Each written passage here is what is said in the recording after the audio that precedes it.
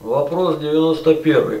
В современной московской патриархии столько училищ духовных, семинарий, академий. Так почему же современные священники не могут отвечать на подобные вопросы? Каков же реальный уровень этих учебных заведений? Стоит ли стремиться закончить их? Ответ. Отвечает Игнатий Тихонович Лапкин. Православии вся беда в том, что на первом месте выросло, закрепилось и утвердилось богослужение уставное. Заняло свое, все, подменив собою прямое указание Божие идти и проповедовать миру погибающему о великой миссии Христа. Евангелие от Матфея, 28 глава, 19 стих. Итак, идите, научите все народы, крестя их во имя Отца и Сына и Святаго Духа, уча их соблюдать все, что я повелел вам.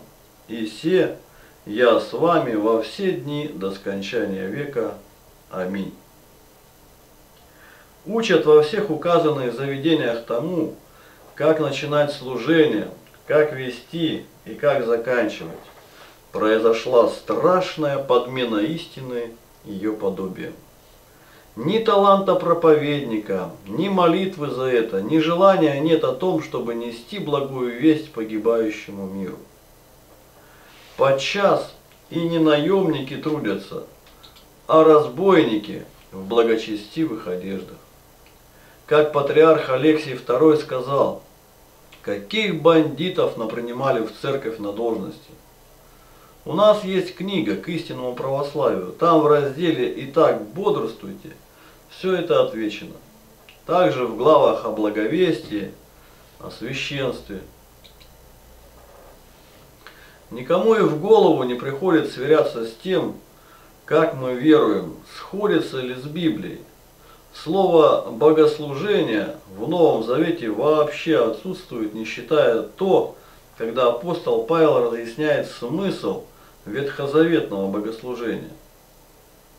Книга пророка Иеремия, 52 глава, 18 стих.